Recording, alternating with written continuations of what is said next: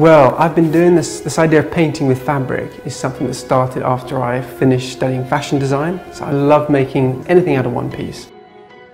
And tulle was one of those fabrics that was always just floating about, literally floating about in my studio. And I saw the, the creases in a sort of scrunched up piece on my floor. And I just thought it would be great to be able to manipulate those pleats from within the one piece, if, if I could, to create something that was you know, recognizable as an image.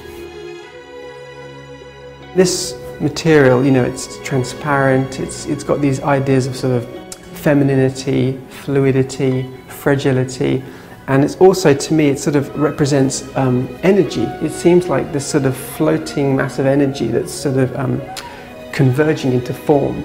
And I love that idea that everything is energy. So through this medium, I'm playing with that idea where, you know, the spiritual becomes, the material becomes solid form. There's been so many reactions of people saying that people are actually, you know, taking the time to, to look at the work and sort of, um, I guess, see it as art more than sort of just a, a window display of some sort. That's been really lovely.